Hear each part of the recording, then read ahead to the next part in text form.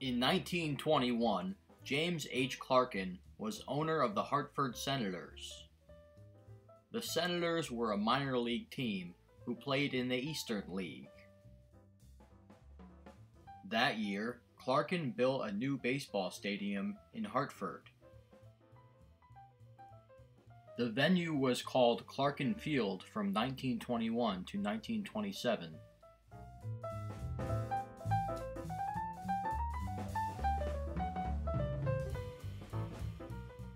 Lou Gehrig played his first professional season at Clarkin Field in 1921.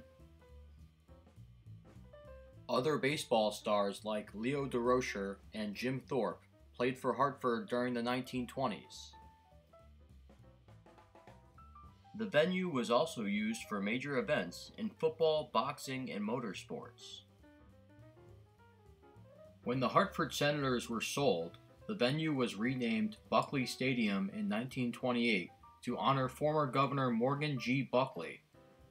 Bulkeley, a Hartford native, was also the first president of the National League, chief executive at Aetna, and a former United States Senator. The stadium was located at the corner of Hanmer Street and George Street in Hartford's South End.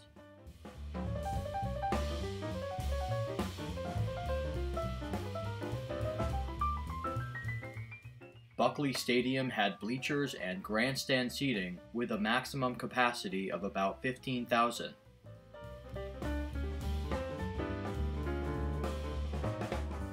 In its day, the facility was considered one of the best in New England.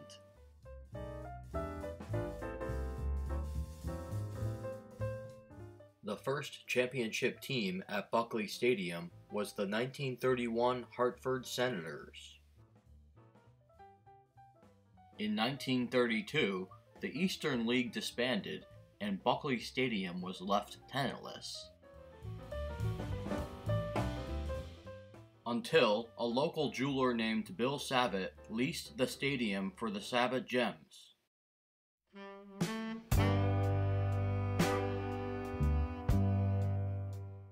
The Gems were former champions of the Hartford Twilight League. Upon renting Bulkeley Stadium, the Savitt Gems became an independent club. The team was made up of professional and local baseball players. Savitt and his Gems hosted baseball's top names, such as Dizzy Dean and the St. Louis Cardinals, Jimmie Foxx and the Philadelphia Athletics,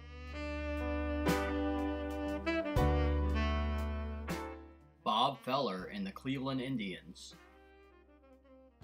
and the Boston Red Sox were guests of the Gems at Hartford's Bulkeley Stadium. Meanwhile, the Hartford Senators became a minor league affiliate of the Boston Braves in 1938.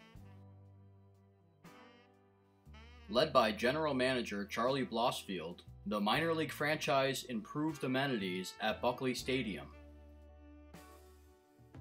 The Senators eventually took on a new nickname, the Hartford Bees. Hartford's minor leaguers and the Savitt Gems attracted thousands of fans during the 1930s and 1940s. In September of 1942, Savitt welcomed Ted Williams to Hartford. Ted Williams played outfield for the Gems and hit a game winning home run.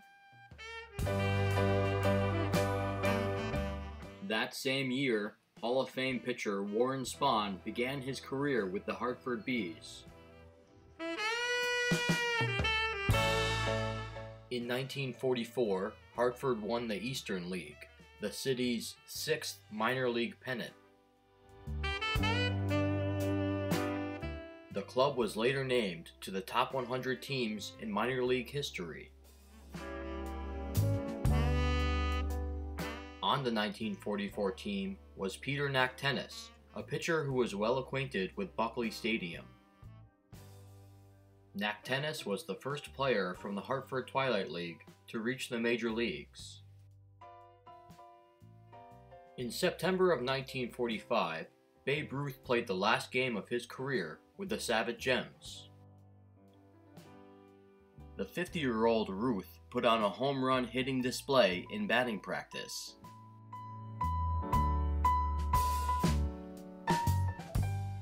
He entered the game as a pinch hitter, but grounded out to the pitcher in his final at bat.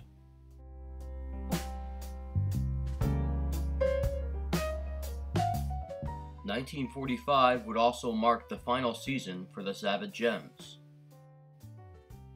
In 1946, the Hartford Bees were renamed the Hartford Chiefs. Boston Braves affiliate broke down racial barriers by desegregating baseball for good in Hartford.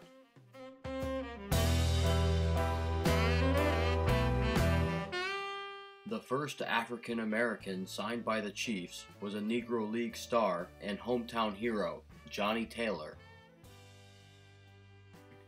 In 1951, rookie sensation Gene Conley earned 20 wins on the mound for Hartford. The Hartford Chiefs would play at the stadium until 1952. In its final days, Bulkeley Stadium hosted amateur and professional ball games.